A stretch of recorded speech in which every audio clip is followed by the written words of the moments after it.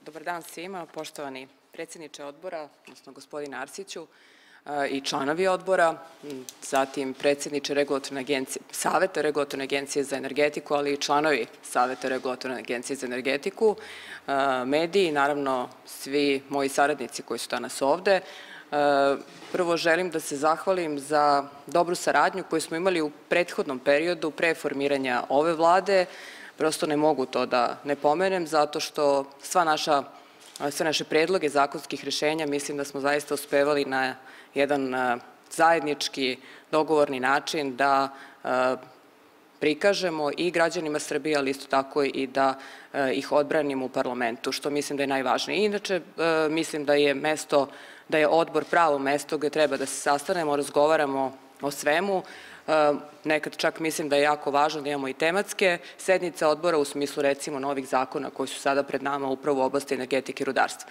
Dakle, izveštaj jeste pred vama, ja nisam neko ko će dugo da priča, ovde su i svi moji saradnici, odgovarat ćemo na sva vaša pitanja, ali bih nekoliko važnih stvari rekla, odnosno čini mi se nekoliko koraka ili vizije u kuda mi u stvari hoćemo da idemo i šta želimo da vidimo za 5, 10, 15, 20 godina u energetskom i rudarskom sektoru Srbije. Ne želim da se vraćam na prethodnih šest godina, dosta problema, učmalosti koji, je, koji jeste postoje u ovom sektoru. E, ne ulazeći u to, hajde da vidimo šta smo mi za prethodnih 3-4 meseca uradili u oblasti energetike i rudarstva. Hoćemo paralelno da e, energetsku politiku sprovodimo na tri kolose, kako tako mogu da kažem. Jedan jeste svakako e, izmena e, najvažnijih, bazičnih zakona u oblasti energetike i rudarstva. Mi smo pripremili i završena javna rasprava četiri zakona, tačnije dve izmene i dopune zakona i dva nova zakona. E, izmene i dopune zakona su zakon o rudarstvu i geološkim istraživanjima za nas jako važna oblast, zato što mi se čini da smo nekako uvek prelazili pored oblasti rudarstva, znajući da ona negde funkcioniše i postoji, a ne čineći dovoljno da stvorimo uslove da se zaista rudarstvo može iskoristiti u onom što na kraju krajeva za državu jeste najvažnije, a to je privredni rast i rast bruto društvenog proizvoda. Drugi zakon koji menjamo jeste zakon izmene i dopune zakona o energetici. E, davno je donet zakon, neke stvari se jesu menjale, ali ne tako da možemo da idemo u korak sa svim onim što nas čeka i ove i svih narednih godina. E, treći potpuno nov zakon jeste zakon o energetskoj efikasnosti i racionalnoj upotrebi energije. Ne treba nikome ovde da govorim, budući da je ovakav odbor u pitanju, da smo mi zemlja koja troši tri do četiri puta više energije po jedinici društvenog proizvoda nego e, naše kolege, odnosno e, naši susedi, gotovo pet puta u odnosu na neke druge zemlje Evropske unije.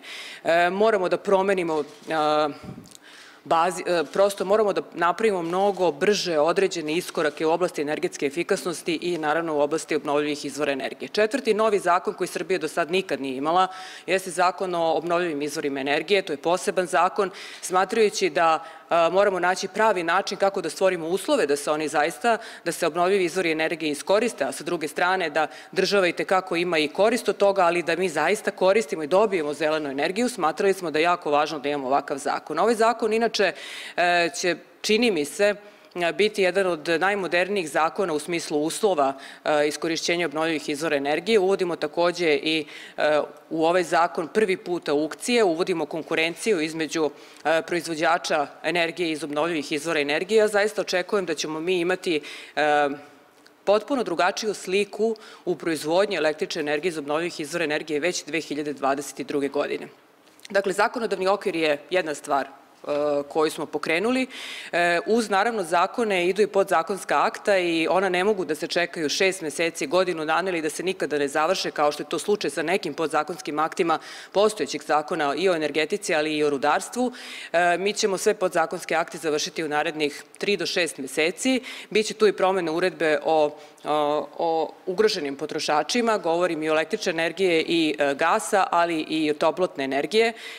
Hoćemo da vidimo da one ljudi koji zaista ne mogu da eh, ne mogu da plaćaju svoje račune i električne i gasa, ali i toplotne energije, te povlastice koje država kroz zakon i kroz uredbe omogućava koriste, a da sa druge strane počnemo i tekako da se bavimo eh, politikom cena eh, i električne energije i gasa i toplotne energije. Ukoliko se ne budemo krenuli politici cena, mogu nam se desiti ozbiljni problemi u narednom periodu. Treći, odnosno drugi, drugi kolosek kojim idemo e, jeste e, kolostek reformisanja velikih preduzeća. To ne može da se desi samo od sebe, ne može da se desi samo kroz Ministarstvo rudarstva i energetike, neophodna je zaista i politička podrška i ozbiljna podrška svih nas e, da to uradimo.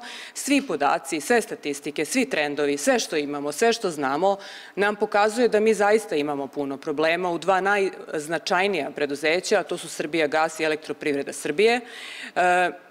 Doneli smo odluke u decembru prošle godine na sednici vlade da se kreće u razdvajanje delatnosti i kod EPS-a, a i kod Srbija gasa. Moram da priznam da elektroprivreda Srbije korak po korak zaista ide po planu svojih aktivnosti i mi ćemo u potpunosti imati razvojne preduzeće do maja meseca. Već sada mi imamo distributivni sistem, imamo elektroprivredu Srbije. E, s druge strane, kod Srbija gasa stvari su komplikovanije i verujem da će nam trebati više vremena, ali isto tako mi nećemo odustati zato što danas Srbija jeste zemlja koja e, za industrijske potrošače ima najvišu cenu gasa u Evropi. Nema razloga ako hoćemo da razvijamo privredu, ako hoćemo da dođu investitori, ako hoćemo da koriste gas kao mnogo bolji energent nego da koriste neki drugi energent, onda mi moramo da stvorimo uslove da oni ipak ne plaćaju gas po najvišoj ceni u Evropi.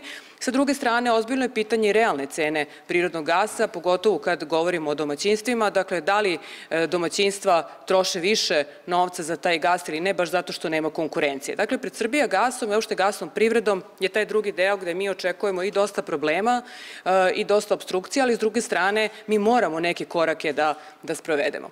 Treći e, kolosek, jako važan, odnosi se na investicije i odnosi se pre svega na kapitalne investicije. E, ono što mi danas možemo da vidimo i što smo sagledali u prethodnih nekoliko meseci, a puno smo radili na tome, e, to je da ukoliko ne budemo ukoliko ove godine ne samo završavali projektne tehničke dokumentacije, nego pre toga jasno odredili, a mi jesmo u ministarstvu već napravili određene rasporede, dakle šta je to od investicija u elektroenergetici što mora da počne da se radi, šta je to u gasnom sektoru od investicija, šta je to u obnovljivim izvorima energije u toplotnoj energiji, e, bojimo se da možemo imati ozbiljnih problema pre svega sa ne EPS-om kao EPS-om, nego sa sistemom elektroenergetike kao takvim. Dakle, plan investicija je jako važan za elektroprivredu Srbije. Mi ne pričamo ovde o par stotina miliona evra investicija, mi pričamo o jednom velikom investicionom programu koji kada smo seli i napravili iznosi oko 10,5 milijardi evra u svim oblastima energetskog i rudarskog sektora. E, ono što je kapa nad svim ovim, uh, jeste činjenica da više nijednog jedina stvar koja se radi u oblasti energetike i rudarstva ne može da se zamisli da se radi, a da se ne radi uh, zajedno uh, razmišljajući o tome kako treba da izgleda energetska tranzicija, odnosno klimatski neutralan razvoj. Ne može da se donosi nijedna odluka o bilo kojoj investiciji, restrukturiranju ili bilo kom zakonu u ovom e, sektoru ukoliko to nije povezano direktno sa zaštitom životne sredine. Dakle, Srbija više nema čak ni vremena da se igra i da razmišlja da li će da koristi više određeni prljavi energent ili ne, mi moramo da donosimo određene odluke i da određene energente prosto sklanjamo iz upotrebe, a sa druge strane moramo da napravimo jasan plan budućih kapaciteta kako bismo 2040. ili 50. godine mogli da kažemo Srbija je što se tiče energetike i rudarstva potpuno zelena država. To je ono čime se ministarstvo bavilo prethodnih nekoliko meseci i to je ono čime ćemo se baviti e, zajedno pre svega sa Ministarstvom zaštite životne sredine. E, što se tiče svih naših obaveza koje mi imamo e, i prema energetskoj zajednici i e, obaveza o transponovanju mnogih direktiva u prethodnom periodu, čini mi se da smo izmenama ovih zakona neke dodatne direktive transponovali. Verujem da ćemo u tački 2 razgovarati o tome šta se do sad uradilo, a šta bi još dodatno trebalo, gde su naše kritične tačke, ja sam ih negde već pomenula, kod nekih tačaka se nalazimo na korak do određenih procesa koji nam ne trebaju, tako da verujem da ćemo ipak sesti i dogovarati se zajednički sa energetskom zajednicom i te probleme rešavati. E, ja bih ovde stala, imate izveštaj, imate sve, čak i ono što nije u izveštaju, što mislite da je važno, mi smo zaista svi tu da, da odgovorimo i mnogo detaljnije, odnosno na ono što vas bude interesovalo u svim ovim oblastima koje sam ja do sad pomenula. Hvala. Hvala vam. Ja sam mislila da će Jovanka odmah u prozumerima da vam kaže, ali nije, ona je rekla sve drugo, a nije to. E, cilj svih zakona, naročito zakona o obnovljivim izvorima energije, jeste da zaista, krajnji cilj jeste da, da koristimo što više obnovljivih izvora energije u proizvodnji električne i toplotne energije, da stvorimo uslove da ih koristimo sve više i mnogo više. I u odnosu na neke naše ciljeve koje smo kao država e, se obavezali, ne misleći samo na to, nego da zaista možemo da, kao što sam rekla, 2040. godine kažemo zelena Srbija. E, hoćemo da vidimo na svakoj kući, na svakoj stambenoj zgradi, dakle ne samo porodičnoj kući, Hoćemo da vidimo solarne panele i ovaj zakon zaista to omogućava. Stvara uslove da potrošači u stvari budu i proizvođači i da koristite jedan deo energije koja je čista, zelena energija, a da kada niste tu ili kada, kada prosto solarni paneli proizvode više od onoga što vi trošite, taj višak energije će odlaziti u mrežu. I moram da se tu zahvalim zaista preduzeća poput elektromreže Srbije i EPS-a su u tom smislu puno pomogla kada smo pravili uopšte dogovore kako tako nešto da uradimo. Činjenica jeste da su sada troškovi solarnih panela mnogo, mnogo niži, odnosno instaliranja solarnih panela u odnosu na neki prethodni period, 5, 6, 10 godina, možda to tada ne bi mogli da uradimo, ali sada zaista možemo i nema nijednog razloga da ne omogućimo građanima, ovo što ste vi pitali domaćinstvima, stambenim zajednicama koje će se praktično dogovarati u tom smislu postavljati solarne panele. I mislim da je to jedna od stvari koja će potpuno promeniti sliku, pre svega naše razmišljanje o tome šta znači zelena energija, jer mi se čini da mi o zelenoj energiji znamo kada posmatrate i kada pogledate sve ankete građana i građanki Srbije, onda to više priča o problemima koje imaju sa malim hidroelektranama, nego suštinski šta zaista znači zelena energija i šta može da donese. E, mi hoćemo da promenimo to razmišljanje i tu svest, ne samo kroz solarne panele, nego kroz sve ono drugo što ćemo još raditi kroz zakon energetskoj efikasnosti. Hvala vam na svim lepim rečima i ranije i sada. Hvala. Onako iskreni, bili su mnogo viši pre 5, 6 ili 7 godina ali su i sada previsoki u odnosu na naš e, sistem i u odnosu na kraju krajeva na, na druge države u Evropskoj uniji. Dopunit će me oni ljudi koji s time bave mnogo duže nego ja. I to u novcu iznosi preko 200 miliona evra godišnje koji nama praktično odu kroz gubitke u distributivnoj mreži. Ima jedna stvar o kojoj mi se čini da se takođe nije mnogo radilo i razgovaralo u prethodnom periodu, smatrajući nekako smo svi tako smatrali, čini mi se da su ljudi koji su upravljali EPS-om tako mislili, da je najvažnije da struje ima. A kakav je kvalitet te električne energije, pa o tome se baš mnogo nije vodilo računa, pa mi imamo situacije u odnosu na sve razne indekse merenja kvaliteta električne energije koja se isporuči krajnjem potrošaču, razne situacije i od toga koliko sekundi ili ne znam minuta nestaje električna energija, koji delovi Srbije imaju takve probleme, a imamo delove Srbije koji imaju takve probleme i šta to na kraju krajeva znači ne samo za domaćinstvo i ono krajnjeg potrošača, nego recimo za industriju. Ja ću vam reći da nedeljno dobijam pisma kompanija koje imaju ozbiljnih problema sa isporukom električne energije zbog toga što ta električna energija iz nekih razloga, pre svega neodržavanja i ulaganja u distributivnu mrežu, dovede do toga da dođe do prekida u napajanju električnom energijom. Dakle, e, mi smo toga svesni, od ovih 10 milijardi konkretno koje ste vi pomenuli, minimum 2 milijarde će se ulagati u distributivni sistem, odnosi se dakle na ulaganje u distributivnu mrežu, ali odnosi se i na pametna brojila. To mora da ide sve zajedno, dakle ne može da bude jedno bez drugog. S druge strane, e, činjenica je da planovi ODS-a pokazuju u prethodnih par godina e, da je realizovano održavanje, dakle novac je izdvojen za održavanje distributivne mreže, ali da je u realizaciji tog održavanja realizacija plana nije prelazila nikada nekih 65-70%. Dakle, novac nije potrošen na održavanje. Znači, postoji dve stvari na koje se rade. Da, ulaganje kroz ove investicije koje sam rekla, ali s druge strane i ozbiljno razmišljanje i vođenje računa o tome kako se održava distributivna mreža. Da li se održava, koje kompanije održavaju, na koji način to održavaju, ko, tu sve, ko se sve bavi tim održavanjem i da li to zaista radi po svim evropskim standardima kako i treba da radi. Dakle, da, sve ćemo ulagati, ne može jedno bez druga. Da doprinesu da energetski sektor i rudarski sektor posluje bolje efikasnije su stvarno dobro došli. Ja mislim da Srbija ima sjajne stručnjake koji mnogi od njih nisu možda u ministarstvima, nekada su bili u preduzećima, više nisu u tim preduzećima, ali zaista svi jesu dobrodošli. Jedna samo stvar oko energetske efikasnosti koja je novina u zakonu, mi ćemo formirati upravu za energetsku efikasnost pod okriljem, pod patronatom Ministarstva rudarstva energetike. Mi hoćemo energetsku efikasnost da dovedemo do krajnjeg, krajnjeg potrošača, do domaćinstva, do svakoga od nas. Do sada energetska efikasnost Mnogo smo pričali, imali smo fond u ministarstvu, lokalne samouprave su se javljale ili se nisu javljale. Bilo jako teško potrošiti taj novac sa jedinicama lokalnih samouprava kroz taj fond, moram da priznam, E, ne bih čak rekla da je to pitanje projektno-tehničkih dokumentacija, nego shvatanja šta može da se uradi u jedinicama lokalne samuprave. To nije dovoljno. Dakle, ako stvarno hoćemo da sačuvamo energiju, ako hoćemo da koristimo i, e, i da živimo u zdravoj životnoj sredini, onda energetska efikasnost jednako mora biti značajna kao i proizvodnja energije iz obnovljivih izvora energije. Prema tome, uprava će skupljati i imati izvore finansiranja ne samo iz budžeta Republike Srbije, nego i od svih međunarodnih partnera, dakle od e, kreditora sa kojima mi već radimo, do nekih drugih fondova, dakle, bit će dovoljno novca, sa druge strane će biti jasan plan kako da dođemo do svakog pojedinca i da na taj način omogućimo sve što je potrebno ili što su neki prvi koraci kroz neke dve, tri faze podizanja energetske efikasnosti. Potpuno smo sigurni da tako, kao jedan nacionalni cilj, možemo za pet godina i tekako da e, smanjimo, odnosno povećamo energetsku efikasnost, a smanjimo energetski intenzitet. Hvala.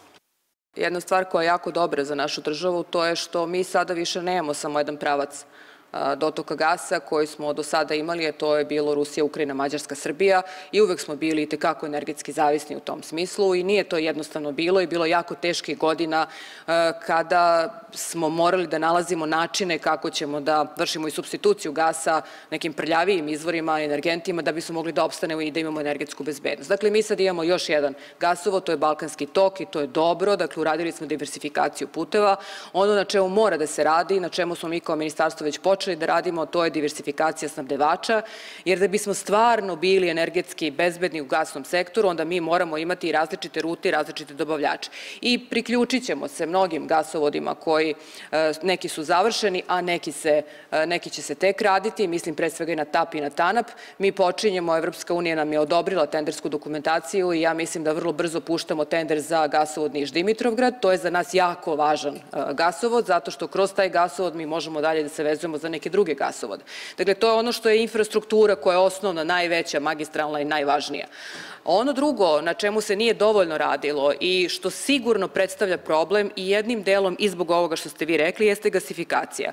Ali je za to isto jako potrebno da se uradi reformisanje Srbija gasa. Ne može gasifikacija nekih opština i gradova da traje 10 i više godina. Ne može da se da novac i da ova država izdvoji novac i da parlament svojim garancijama ili svim nekim drugim zakonima koje, smo, koje ste usvojili, a vlada Srbije dala određene garancije, da se na kraju ta gasifikacija ne završi. Ne može da se desi da imamo situaciju da od prvih prijavljenih za gasifikaciju na kraju imamo recimo jednog potrošača koji će se priključiti na gas. Znači ozbiljno je pitanje šta su planovi, šta stvarno hoćemo da gasifikujemo, šta stvarno možemo da gasifikujemo, gde imamo zaista određenu tražnju za onima koji žele da E, da imaju gas u svojim domaćinstvima. S druge strane, mi ćemo svakako razgovarati i sa drugim institucijama od MUPA, dakle od Ministarstva unutrašnjih poslova do nekih drugih institucija, da se te takse koje postoje i koje nisu male, dakle sigurno snize da bismo išli u taj veliki proces zvani gasifikacije. Znači, gas jeste za nas jedna od alternativa, jako važna, ali ne može da bude jedina, zato što koliko to budemo imali kao jedinu alternativu, onda ćemo mi povećati našu gasnu zavisnost za minimum milijardu evra godišnje, što takođe nije rešenje rešenje. Znači, moramo napraviti balans u proizvodnji e, i toplotne i električne energije. Dakle, gas je jedan deo samo. Hvala. Kad bi to bile samo kritike i primetbe uh, u smislu razgovora i komentara, onda bismo seli i raspravljali, mo mogli da raspravljamo puno o tome, ali nije to to. Mi smo se obavezali ugovorom koji smo potpisali uh, sa energetskom zajednicom još pre 2014. godine da ćemo napraviti određene korake u reformisanju naših preduzeća odnosi se i na Srbija gas i na elektroprivredu Srbije. Do oktobra, odnosno do decembra prošle godine, nijedan od tih koraka suštinski nije ispunjen i Srbija nije ispunila svoje ugovorne obaveze, što znači da mi sada sa energetskom zajednicom smo negde na korak do spora Dakle, kad kažem na korak do spora, to znači da možemo sad sedemo sa advokatima i da radimo, zato što nismo uradili nešto što je potpuno prirodno, normalno, što može da donese razvoj i gasnom sektoru i elektroenergetskom. Ono što smo uradili donošenjem odluke vlade e, u decembru mesecu prošle godine bilo je da upravo krenemo u tom smeru, iako sa zakašnjenjem, a to znači e, da razdvojimo delatnosti u elektroprivredi Srbije od distributivne delatnosti. To smo uradili, nezavisna preduzeća su stvorena, ima tu još dosta posla, ali verujem da će to ići do maja meseca, da će biti završeno.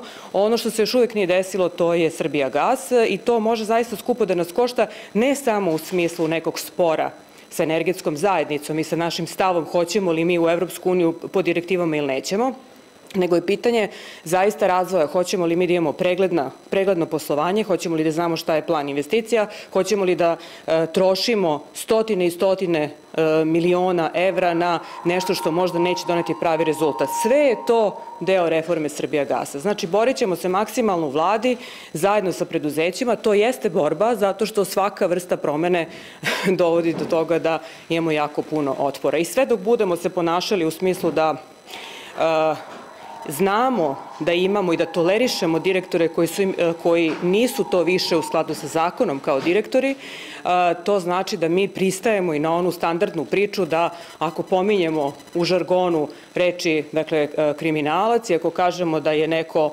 žestoki momak, a ne kriminalac ili ako recimo menjamo i kažemo da je neko kontroverzni biznismen, a u stvari je on prekršio zakon. Dakle, sve te stvari koje činimo nisu svakako dobre za ovu oblast. Ministarka, ja imam dva pitanja. Kad je rok taj za Srbija gas da pokaže prvi rezultat? A pa morali bi to završiti već do maja. Mislim, svi su rokovi prošli. Da, da se razumemo. Svi su rokovi prošli, mi smo dobili jedan novi, da tako kažem, Da napravili smo novi dogovor sa energetskom zajednicom na ministarskom savetu u decembru. Oni su videli da je vlada Republike Srbije donela odluku o razdvajanju delatnosti, ali ona mora da se sprovede. Znači, to bi moralo da se desi već negde do maja, juna meseca.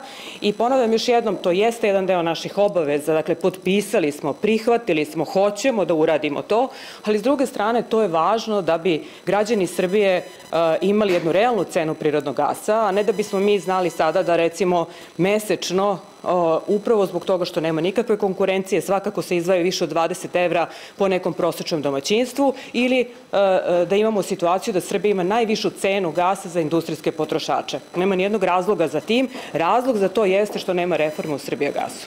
Pa mi smo kao ministarstvo e, danas pred odborom, dakle svi državni sekretari i pomoćnici su danas sa mnom, da predstavimo ne samo izveštaj, dakle sve ono što jesmo radili odboru parlamenta Srbije, zato što mislim da je to pravo mesto gde treba da kažemo šta smo radili i da naravno damo projekciju šta ćemo raditi narednih meseci u oblasti rudarstva i energetike.